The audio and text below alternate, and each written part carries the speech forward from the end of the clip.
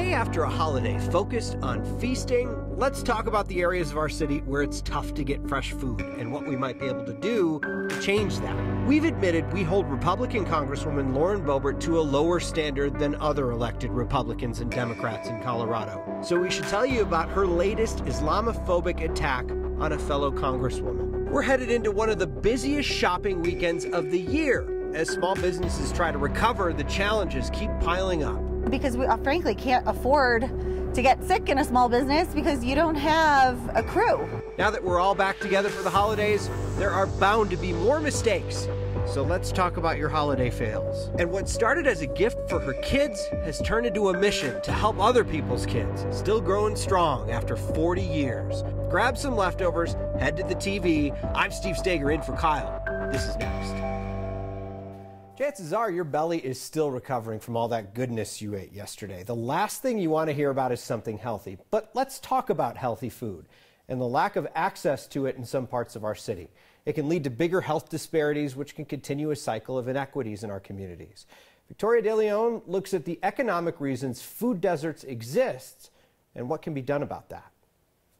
This map from the city of Denver highlights food deserts across the city. The darker the color, the higher percentage of people not within a 10 minute walk to the grocery store. The U.S. Department of Agriculture considers an area to be a food desert if at least 500 people, or 33% of the population, live more than a mile away from a supermarket or large grocery store. You know, there's smaller grocery stores, I think, but they tend to not, you know, not serve the fresh food. And so, unfortunately, people in those areas end up paying really high prices because they're forced to shop at these convenience stores and these small format stores. Darren Dubersmith is a senior lecturer with MSU Denver's College of Business. He says food deserts all come down to money. A store would open up a store in a location if they thought they could turn a profit. It's not unusual for grocery stores to operate with very thin profit margins, which is why Dubersmith says population size in communities and consumer volume also plays a role in where chain grocery stores decide where to open up a location. That's where he says tax incentives from federal and state governments could offer a solution. In, in the same way that car companies get tax credits to produce green vehicles, King Soopers and Safeway and these businesses could be subsidized by the uh, state and federal government to produce uh, essentially money losing grocery stores in these food deserts. So what's really interesting is the Sun Valley neighborhood was once considered a food desert. Then earlier this year, about a month ago maybe, a publicly funded grocery store opened up through a partnership between the Denver Housing Authority and the city. So Steve, it seems like Denver is starting to make some progress in that direction. Yeah, and, you know, it seems so easy. You just say, put more money into this problem. It's tricky to try to convince people to do that. Right, exactly. It's tricky to convince people that, hey, your taxes might go up to put grocery stores in this area where they really need it. And that's where you see a lot of nonprofits come into play. You see these mobile food pantries, but those seem kind of like band aid solutions. It's good to talk about solutions, though. It's nice to hear about that. Victoria De Leon, thank you. Appreciate it. This weekend is big time for a lot of small business owners in Colorado. Businesses hurt by the pandemic are hoping to make up for some of the losses over the coming weeks. But businesses in the metro area have yet another pandemic hurdle to deal with as the unvaccinated prolong this pandemic. A new mask mandate that just kicked in a few days ago. In four blocks of this stretch of Broadway, we have at least 26 women owned businesses. Hi. How are y'all doing? We're really invested in this neighborhood. Hi, everybody. I am the founder and owner of Hope Tank. We've been wearing masks the whole time. Have y'all been in with us before? Our staff maintained masks the whole time, just, you know, because we uh, frankly can't afford to get sick in a small business because you don't have a crew. Thank you. Yeah. We don't get a lot of pushback these days. I think most folks understand that it's to you know help us stay open. We have to follow the rules. Since we aren't doing this in texas it was a shock at first but then i was like wow they care. So yeah we're going to wear our mask. I mean it doesn't bother me at all. I mean whatever it takes to keep everybody safe. Ironically the, the folks who are vaccinated tend to be the most um, give us the most pushback because they're a little indignant about it. And um, you know we're all vaxxed but we don't think that's anybody's business frankly. Like we don't have capacity to check people's um, vaccination status, and we feel like that's kind of invasive.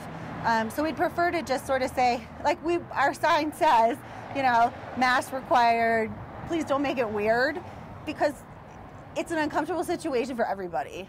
Um, and so we're just trying to use some humor um, to, to lessen some of that pushback.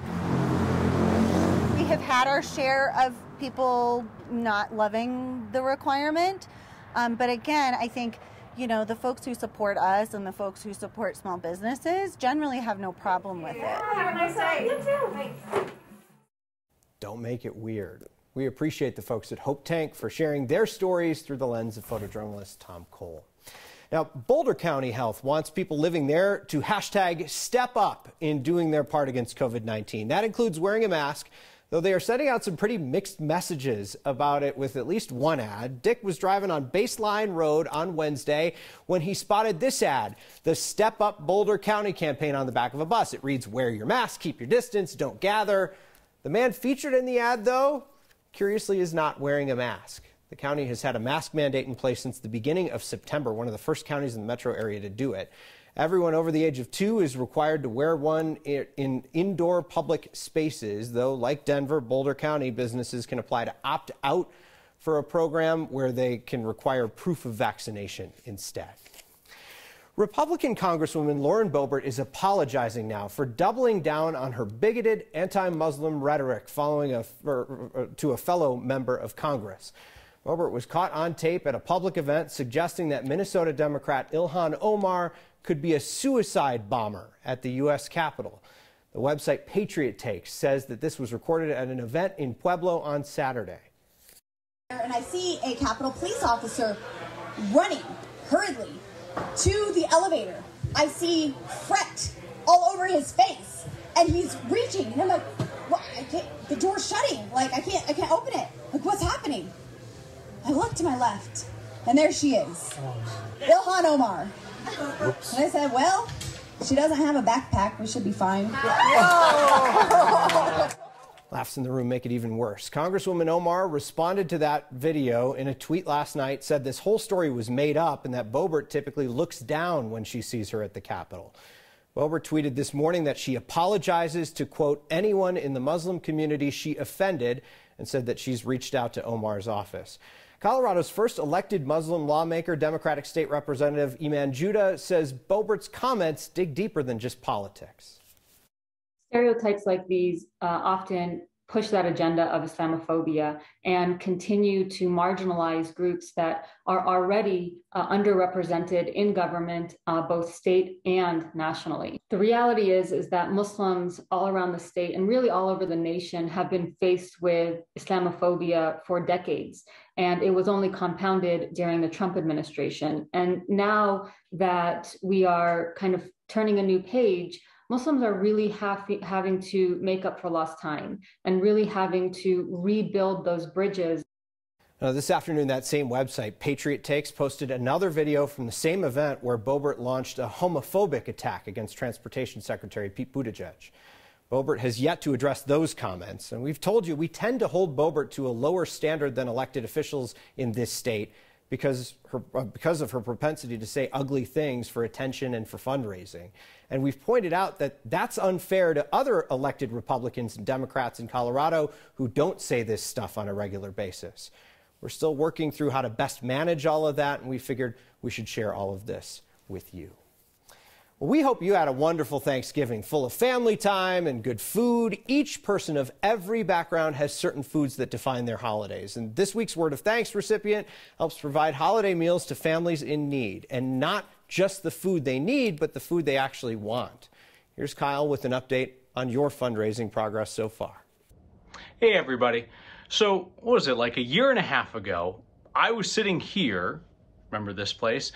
You were sitting there and we started out on this project to see if pooling our $5 contributions for nonprofits in Colorado might make a big difference if a whole lot of people did it all at once. And the night before Thanksgiving, your Word of Thanks donations passed the $5 million mark. We're going to find an appropriate time to celebrate that in the near future, but we've got some work to do this week. We're raising money for Food Bank of the Rockies to cover the holiday grocery bills of our neighbors. This is pretty simple stuff. If you've ever wanted to pay for the groceries of the person ahead of you in line, or to look across the diner and say that you'll pick up somebody else's meal because you think you might be a little bit more fortunate than they are, well, this is your opportunity. Food Bank of the Rockies does that 365 days a year, but it's especially important during the holidays. So scan the QR code on your screen or text the word thanks to 303 871 1491 to join me in giving to Food Bank of the Rockies. Since Wednesday night, you have raised $50,000 to cover the grocery bills at holiday time for our neighbors in Colorado. As always, thank you. Every year for almost four decades, she's been providing some holiday cheer to children she's never even met, one stitch at a time. The turkey is still digesting, but it's not too early to look ahead. Christmas is alive. Thanksgiving is no more. It's the season of traditions. Our favorite one is next.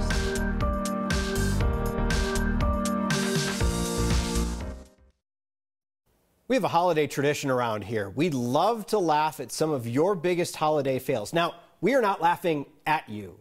We are definitely laughing with you. You've already shared some great ones that we think the whole group needs to hear about. Like Brian, he says he and his wife are making dinner for their first Christmas together in their tiny apartment back before they were married. Brian says that he's a good cook, though he wasn't used to using that tiny oven. So he set the turkey on fire. Who among us hasn't done that? Well, I guess I haven't. But uh, Suzanne says one year she was in charge of the mashed potatoes, didn't realize it was too late, that she didn't have any milk in the house, just Lactaid. So she says in the end it tasted more like moosed potatoes. And uh, we could all take a moment to appreciate Gracie, a very good girl who might have done something bad, though you cannot prove that to us, despite this photo evidence Kara took of Gracie climbing on the table to eat the turkey. We have all had holiday fails, so we want to see yours. Email your stories to next at 9news.com or get our attention on Twitter with the hashtag HeyNext. Bonus points if you have visual documentation of said fail. A beautiful end to the week with temperatures soaring into the upper 60s this afternoon. A far cry from what should be our typical high of 49 and pretty close to that record of 74. Tonight, the sun has set. We are looking at some clear skies out there, but clouds on the move. They're going to be rolling in late tonight across much of the Denver metro area ahead of this storm and that cold front. The cold front will push through, but unfortunately, a lot of the rain, the snow that we desperately need, that stays well to our north. Overnight lows staying in the 20s and 30s here here in the metro area with 20s way up high. Here comes the front. It swings right on in. It will drop our daytime highs just a bit tomorrow, but it won't bring us any rain, no snow. Only a trace. That's all we have seen here in Denver. By the end of the month, we should be a little closer to a foot. 50s on deck for us tomorrow. Back to the 60s early next week. And then look at that. Hopefully, a little snow by next Friday. Hopefully. The holidays are all about traditions. By far, our favorite tradition is sharing your good news here on Fridays. We've been doing that for 274 Fridays now. And for the 275th edition, our Mike Grady headed to Union Station to talk to some of our fellow Coloradans who were enjoying their long holiday weekend. Christmas is alive. Thanksgiving is no more. It is Good News Friday. My good news is I'm very excited to be here with my sister and my good friend eating lunch and getting over my fear of being on TV. My good news is an immersive art installation that I did is opening next weekend on December 4th. I'm going to be uh, at Crested Butte visiting some friends. We're all in di three different states um, and decided that we wanted to do a trip and spend Thanksgiving together had some issues with flights, missing flights. So we were able to scramble together a flight for her to get to Denver. She's not shy, except for in front of a camera. the people inside are the final piece. So finally get to see what they think. I don't have a family here, so it's always good to have some close friends and yeah, be there with them. Uh, why is it good to kind of push yourself outside your comfort zone? That's where the growth happens it's so important. That's where the growth happens. Experiencing new things with the people you love the most. Like you can't go wrong. Yeah. Just really happy right now. Yeah, very happy yeah. to be here. It's great news. She's always got something going on. She's not good at just sitting and not doing much of anything. Free time is a precious commodity. A Colorado woman has been using hers to put her fingers to work every holiday season so she can spread a little love and cheer to kids in need. We'll meet her next.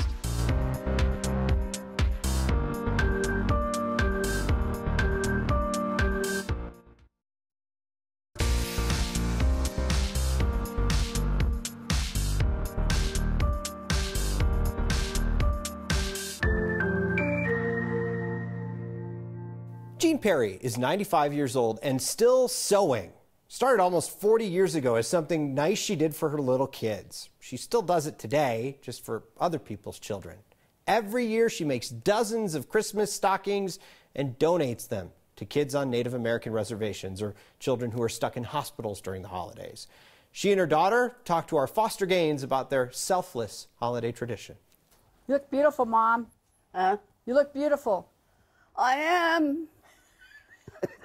Since probably 1982, she's been making stockings. I am sewing sequins and beads. She started by making them for all her children. 66 years I've been going through this. I'm not complaining, and she got me into it, so I'm doing it now too. There's all kind of needles here. Well, let's just find one that works. She's um, currently making 40 of those, of which these will all go to actually a school that's on an Indian reservation. First grade. First grade students. No, it takes a while to do them. but she starts in the summertime for I sure. start in the summertime, four and five hours a day, seven days a week. If you could look at the detailed work on them, you could understand why it takes so long. They wouldn't have these if it wasn't for something like what she's doing for these children. Well, there are times I sit and cry when I see these kids don't have anything. But if only people would realize what these poor children are going through and help. Don't stick yourself. Well, I've done that many times. And I just wish I had time and the means of doing more every year. I don't know what I would do sometimes if I didn't have this project to do. You'd find something to do. You always do. Yeah, I'll come give you a hard time. That's true, too. This year's stockings are going to the St. Joseph's Indian School in Chamberlain, South Dakota. They'll be sending the stockings with gift bags full of candy, coloring books, and crayons. Freebird without the Lynyrd Skynyrd. One unique pet gets captured, another avoids becoming Thanksgiving dinner. The most Colorado thing we saw today, plus your feedback about how I enjoy food too much. Next. The most Colorado thing we saw today is an Old West roundup on the western slope. A whole posse was needed to wrangle in a loose emu in Montrose. The Montrose County Sheriff's Office first heard of the emu on the run on Monday. Together with the owner, animal control officers, and a waste management employee, they captured the bird. Probably helped that emus can't fly because their flat breastbones lack the keel that anchors the strong pectoral muscles required for flight. That's according to National Geographic. Uh, this turkey escaped someone's dinner plate. Chris spotted the lucky bird walking around 104th and Pecos in Northglenn. Says it didn't seem frightened by people and nearby cars, so it seems pretty confident with its newfound freedom. Send us bird stuff to next at 9news.com or use the hashtag HeyNext on Twitter. Your feedback now, D says, and I'm sorry if you were offended is not a real apology. Don't give her credit for that. Well, Dee, we wanted to acknowledge that Lauren Boebert apologized because we're pretty sure it's one of the first times we've heard that.